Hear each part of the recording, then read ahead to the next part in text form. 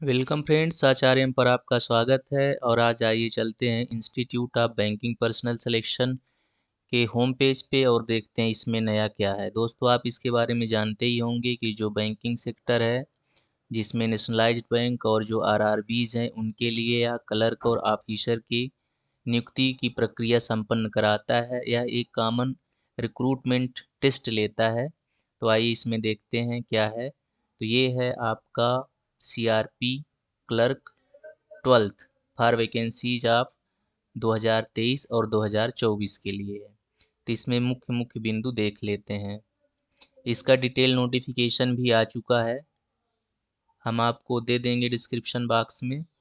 Link वहाँ से आप डायरेक्ट एक्सेस कर लेना या डाउनलोड कर लेना। तो इसमें देख लेते हैं। पार्टिसिपेटिंग बैंक कौन कौन से हैं? तो बैंक ऑफ़ बड़ौदा है, केनरा बैंक है, इंडियन ओवरसीज बैंक है, यूको बैंक है, यूनियन बैंक ऑफ़ इंडिया है, Punjab National Bank, Punjab Sindh, Central Bank of India, Indian Bank Bank of Maharashtra और बैंक ऑफ़ इंडिया है। तो इसमें देख लेते हैं online registration. Including edit modification of application by candidate ये कब से कब तक रहेगा? तो ये एक जुलाई 2022 से 21 जुलाई 2022 तक रहेगा। एप्लीकेशन फ़ीस जो है, वो आप ऑनलाइन कब तक भर सकते हैं? तो ये भी एक जुलाई से इक्कीस जुलाई तक है। प्री एग्ज़ाम ट्रेनिंग के लिए दिया हुआ है।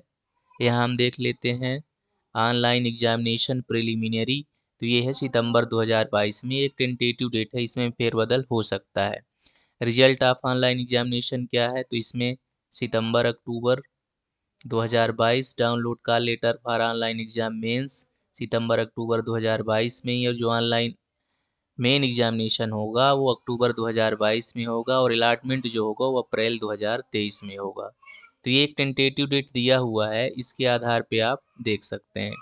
एलिजिबिलिटी क्राइटेरिया में हम देख लेते हैं एज सबसे मुख्य चीज़ है एज तो इसमें एज है मिनिमम 20 साल और मैक्सिमम है 28 साल, जिसका कैलकुलेशन होगा 1 जुलाई 2022 के बेस पे, और जो कैटेगरीज वाइज जो रिलैक्सेशन एज में मिलती है वो मिलेगी, जो गवर्नमेंट्स के नाम्स होते हैं उसके आधार पर।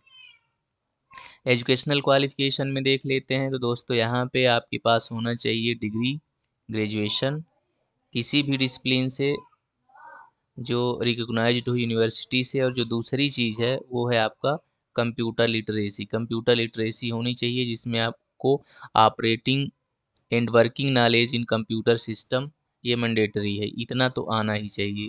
और तीसरी चीज़ क्या है कि proficiencies in the official language of the state जिस स्टेट के लिए आप भर रहे हैं, उस स्टेट का जो लैंग्वेज हो, वो आपको आना चाहिए। तो ये मुख्य मुख्य चीज़ें हैं। डिटेल नोटिफिकेशन आप हमारे लिंक से ले लीजिएगा। हम डिस्क्रिप्शन बॉक्स में दे देंगे। मुख्य था इसमें कि नोटिफिकेशन के बारे में बताना, यदि आप बैंकिंग सेक्टर की तैयारी कर रहे हैं, क्लेरिकल कैडर की कर रहे हैं, स्पेशली ये भी क्लेर, क्लर्क के लिए ही आया है, सीआरपी क्लर्क, यहाँ पे देखिए आप ये। तो यदि आप क्लेरिकल कैडर के लिए तैयारी कर रहे हैं तो आपके लिए बेहतर अपॉर्चुनिटी है। क्योंकि अब कोविड काल जो था वो भी लगभग समाप्ति हो चुका है। आप बढ़िया तैयारी करें और बैंकिंग सेक्टर में पहुँचें। हमारी शुभकामनाएँ आपके साथ हैं। साथ ही यदि आप हमारे चैनल में नए हैं तो हमारे चैनल को सब्सक्राइब ज़रूर कर लीजिए।